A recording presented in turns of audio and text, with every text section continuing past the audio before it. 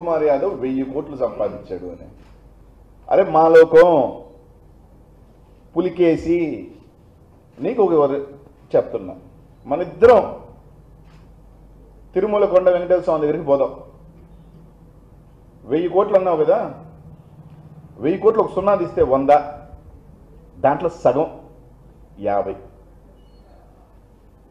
లేదు నేను రాజకీయాల్లోకి వచ్చే రోజుకి నా తండ్రి నాకు ఇచ్చిన ఆస్తికి నువ్వు చెప్పావు నేను మంత్రిగా ఉన్నప్పుడు సంపాదించాను దోచుకున్నానని.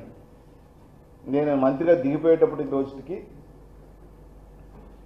నా తండ్రి నాకు రాజకీయాల్లోకి వచ్చే టైంకి నాకు ఇచ్చిన ఆస్తి కన్నా ఒక్క రూపాయి ఒక రూపాయి ఎక్కువ ఉన్నా కూడా ఆ వెంకటేశ్వర స్వామి ఎందుకంటే వెంకటేశ్వర స్వామి దగ్గరికి వెళ్ళి అబద్ధం చెప్పాలి అంటే లేకపోతే వెంకటేశ్వర స్వామి దగ్గరికి వెళ్ళి కూర్చొని ఇది చేసుకోవాలంటే అంతకన్నా నేను దేవుణ్ణి నమ్ముతా కొంచెం జాతకాలు నమ్ముతా అన్నీ నన్ను నేను పోతా. లేకపోతే మీ నాయన రాజకీయాల్లోకి వచ్చేటప్పుడు రెండు ఎకరాలు ఇవన్నీ నేను మాట్లాడను ఎందుకంటే ఇవన్నీ ప్రజలకు తెలుసు దాని గురించి అవసరం కూడా లేదు నాకు. ఆ భగవంతుడే నీకు వేయాల్సిన శిక్ష వేస్తాడు. వచ్చేదానికి సిద్ధంగా ఉన్నావా? ఇంతకన్నా నేనేం మాట్లాడదలుచుకోవట్లే. మా తండ్రి రాజకీయాల్లోకి నేను రాజకీయాల్లోకి వచ్చేటప్పటికి నా తండ్రి ఇచ్చిన ఆస్తి కన్నా నేను రా మంత్రిగా దిగేటప్పటికి ఒక రూపాయి ఎక్కువ ఉన్నా. ఒక రూపాయి. నువ్వు చెప్పిన వెయ్యి తీసి వంద తీసి దాంట్లో యాభై కూడా దిగించానబ్బా దానికన్నా ఎక్కువ ఉన్నా కూడా వెంకటేశ్వర స్వామి దగ్గరికి కావాలంటే వస్తాం. ఇద్దరం పోదాం. రా. నువ్వు బొగడు అయితే రా. నువ్వు పులికేసి కాకపోతే రా. నువ్వు ఎర్రి పుష్పం కాకపోతే రా పోదాం. ఏం చెప్పావు? ఇస్కాన్ సిటీలో ఎనభై ఏడు ఎకరాల? ఇస్కాన్ సిటీలో ఎనభై ఏడు ఎకరాలు అసలు ఇప్పుడు పొలం ఉందా అంత? ఇస్కాన్ సిటీలో ఈరోజు అంత పొలం ఉందా? జల్లిడి పెట్టినా పది పదిహేను ఎకరాలు దొరకదు అక్కడ నీకు. ఇస్కాన్ సిటీలో నా కుటుంబానికి రాజకీయాల్లో వచ్చేటప్పటికి నాకు పద్దెనిమిదిన్నర ఎకరం ఉన్నింది. ఈరోజు మూడు వందల ఎకరం ఉంది. ఇస్కాన్ సిటీలో అంకణం ఎంత తెలుసు కదనా రెండు లక్షల రూపాయలు పైన ఉంది అంకణం. అంటే కనీసం ఎకరా ఐదు నుంచి ఆరు కోట్ల రూపాయలు అమ్ముతుంది ఈరోజు లేఅవుట్ వేస్తే ఎనిమిది కోట్లు అమ్ముతుంది. పదమూడు కోట్లు అంటే పదమూడు ఎకరాలు అంటే ఎంత? ఎరగాలమ్మ గుడి దగ్గర మూడు ఎకరాలు అమ్మా నేను. ఈరోజు ఎరగాలమ్మ గుడి ఎదురుగ్గా. ఎక్కేమెట్లో వంద ఎకరాలు అమ్మా. చోడగుంట్లో ఊళ్ళు అమ్మా. ఈ రోజు మా నాన్న ఇచ్చిన ఆస్తులను కూడా ఒక్క రూపాయి ఒక్క రూపాయి ఎక్కువ ఉన్నా వెంకటేశ్వర స్వామి దగ్గరికి పోదాం. లేదు ఇక్కడే ఉన్నాం కదా. పాదయాత్ర నుంచి పోదాం? దారిలో పోయే ఏ ఏ దేవాలయం కానీ వస్తామంటే చెప్పు వస్తా. పోదాం. ఉదయం బట్ట కాల్చి దారిని పోయే ఎవరైనా నా కార్పొరేటర్ లేఅవుట్లు వేస్తే అది అనిల్ కుమార్ యాదవ్ అరే పాపం అల్లీపురంలో వాళ్ళు ఆ నాలుగో డివిజన్కి సంబంధించి కార్పొరేటర్ ఎవరో కూడా తెలియదు. డాక్టర్ అశ్విన్ అంటారు. పదిహేను మంది భాగస్తులు వాళ్ళు పాపం. చిన్న చిత్క దాంట్లో పన్నెండు మంది రెడిగారులు పాపం. వాళ్ళు వ్యాపారం చేసుకుంటుంటే దాంట్లో ఇప్పటికే చాలాసార్లు చెప్పా దాంట్లో ఒక్క రూపాయి నాదున్నా ఆ భగవంతుడు నన్ను శిక్షిస్తాడు. అజంతనే కూడా దాంట్లో ఒక రూపాయి ఉన్నా భగవంతుడు నన్ను శిక్షిస్తాడు నా తమ్ముడు ఎస్ అశ్విన్ నా తమ్ముడు ఒక ఆర్థోపెడిక్ డాక్టరు. నేను అధికారం రాకముందే తను ఒక హాస్పిటల్లో షేర్ హోల్డర్.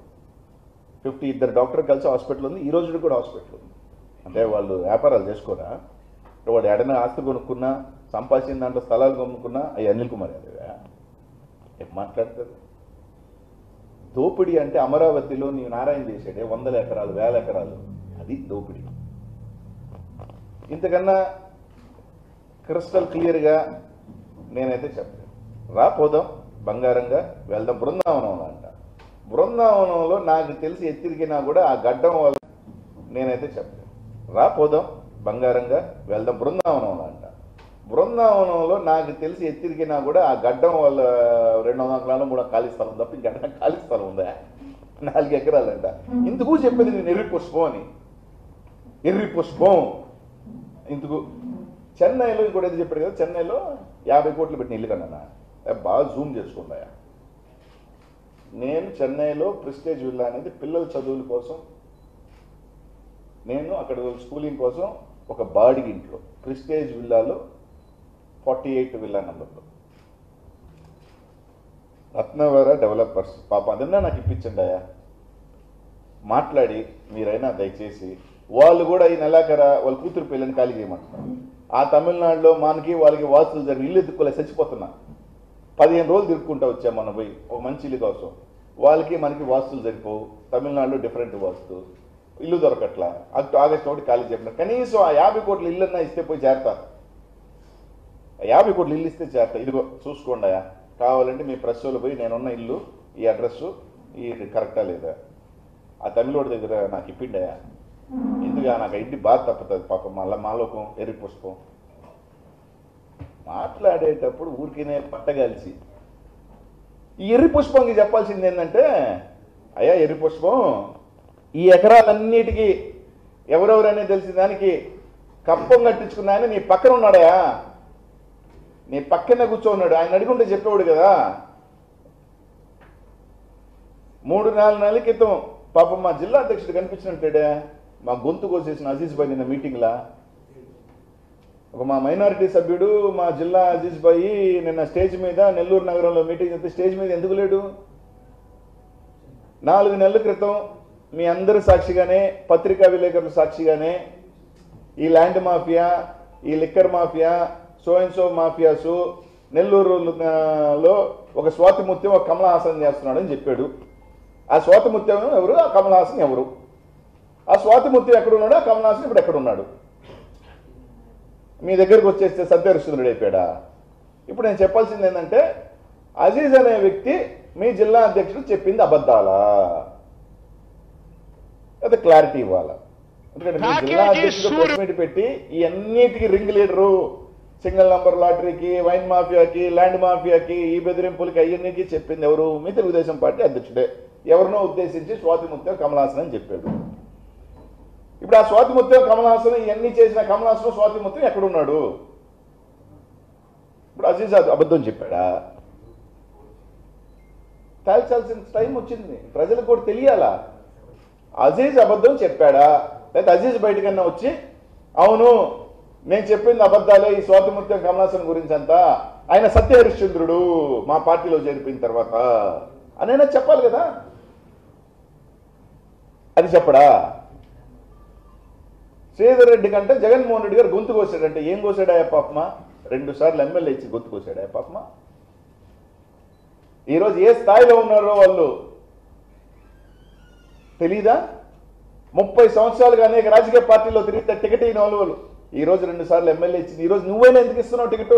ఆయన ఎమ్మెల్యే కాబట్టి టికెట్ ఇస్తున్నావు అదే ఆయన జగన్మోహన్ గారు గొంతు వచ్చిందే గొంతు ఇటువంటి ఏందో తెలుసా?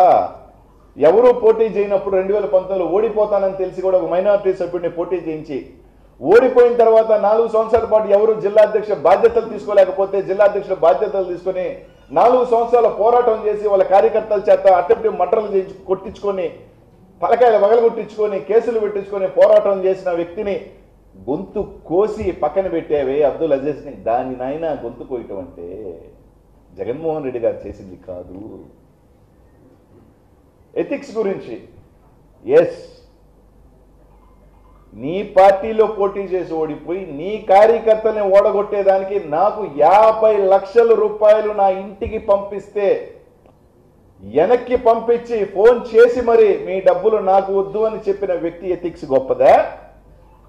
లేకపోతే ఒక పార్టీలో ఉండి జెండా మూసిన కార్యకర్తల్ని కష్టపడిన కార్పొరేటర్ స్థాయి అభ్యర్థుల్ని ఆ అభ్యర్థులు పోటీ చేస్తే పక్క శాసనసభ్యుడికి డబ్బులు పంపించి ఓడగట్టమని చెప్పిన వ్యక్తి వ్యక్తిత్వం గొప్పదా అన్నది ఈ నగర ప్రజలు ఈ జిల్లా ప్రజలు ఆలోచన చేసుకోవాల్సిన అవసరం ఉందని చెప్పి. నా ఇంటికి యాభై లక్షలు పంపిస్తే వెనక్కి పంపించా? పంపించి ఫోన్ చేసి మరీ చెప్పిన మీ డబ్బులు నాకు వద్దు సార్ మా తంటాలు మేము పడతాము అని. ఇది అనిల్ కుమార్ యాదవ్ వ్యక్తిత్వం. మీ వ్యక్తిత్వం? ఆ పార్టీలో ఉండే డబ్బులు నాకు పంపించలేదు పంపించలేదు అని ఈ రోజుకి కూడా నేను ఒక అలిగేషన్ వేస్తే దానికి సమాధానం చెప్పలా. కట్టుబడి ఉన్నా దాని మీద కూడా మీరు వచ్చేదానికి సిద్ధమైతే ఎవరి వ్యక్తిత్వాల గురించి మాట్లాడుతున్నారు? కరోనా టైంలో ఏ హాస్పిటల్లో దోపిడీ జరిగిందా పొదంపా బంగారం గట్ల గురించి ఏ బంగారం గట్ల వ్యాపారస్తుల దగ్గరికి వెళ్దాం.